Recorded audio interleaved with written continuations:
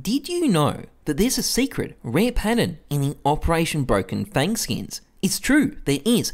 Unfortunately, though, it is on the revolver, though, so you'd have to be a literal sadist to use it. But still, it does exist. The secret Phoenix pattern on the R8 Phoenix marker. This is the top pattern, the 296.